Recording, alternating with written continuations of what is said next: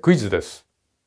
なぜ同じように占領、植民地統治していたのに、韓国は反日で、台湾は親日なのでしょうか？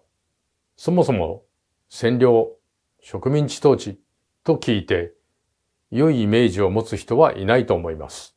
例えば、欧米列強の植民地統治は、人種差別、宗教の押し付けや土着の宗教の禁止、母国語の公の場での使用禁止などを植民地の人たちに強制しました。ですから、表面的な知識がなければ、ああ、韓国の人たちが反日なのはしょうがないなと思うかもしれません。まあ実際は日本の朝鮮半島への植民地統治は欧米列強のものとは全く違ったものだったんですけどね。しかし、新日国という言葉を検索すると、ほとんどのサイトで台湾という国の名前が浮かび上がってきます。日本が植民地統治していたはずの台湾。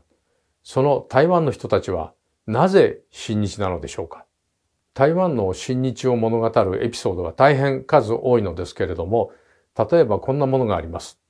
2011年3月11日の東日本大震災。この時世界で一番早く救助隊を派遣してくれたのは実は台湾だったのです。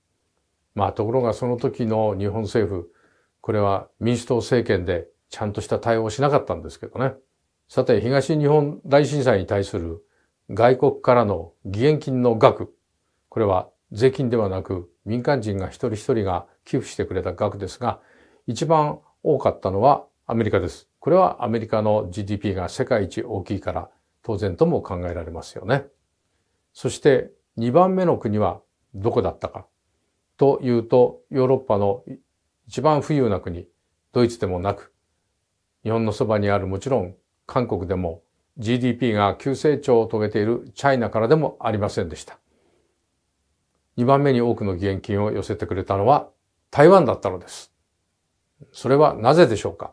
その理由を日米対関係上の理事、えー、林健良さんは次のようにおっしゃっていました。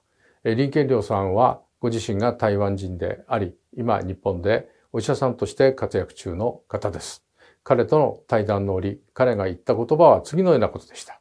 林健良さんのお話では一言で言うと、今も台湾人が親日なのは、植民地時代実は日本という一流の国に台湾が統治されたからだそうです。日本の統治は台湾に多くのものをもたらしました。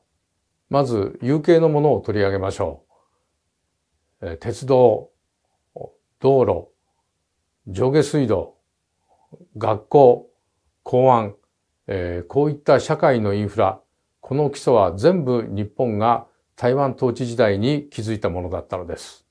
例えば、八田洋一さんという方がいました。えー、日本は国策で八田洋一さんを設計者として台湾南部に巨大なダムを作りました。このダムによって台湾の南部は巨大な国葬地帯に生まれ変わったのです。また、ニトベ稲造という名前も台湾に関して忘れられない名前です。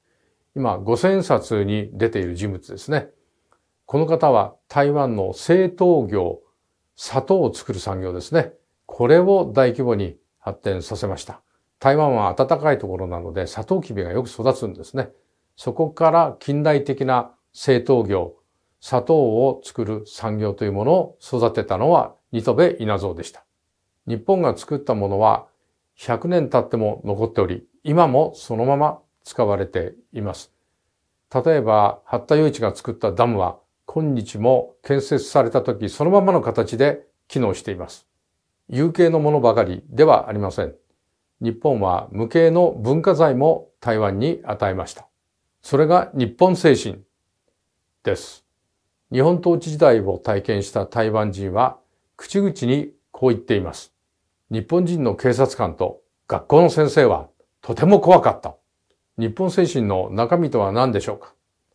林健良さんは4つにまとめられると言っています。それは、規律、清潔、正義感、そして冒険心です。かつての日本人は、そういった日本精神を備えていて、それを見た台湾人は日本人の生き方、日本精神に憧れたのです。台湾人は日本人を尊敬しているし、日本人に感謝している。尊敬が感謝になって、やがてそれが親日感情になったのです。林さんはこのように言います。私は韓国人ではないので韓国人の感情はわかりませんが、少なくとも台湾人はそのように考えているのです。台湾人の親日感情の原点にあるもの、それは尊敬なのです。この言葉を聞いてあなたは信じられたでしょうか？日本の中から日本を見るのではなく、日本の外から日本を見ると、日本の素晴らしいところや、あるいは反省すべきところが非常によく見えると私は考えています。もっと深く知りたいと思う方は次のページをご覧ください。ご視聴ありがとうございました。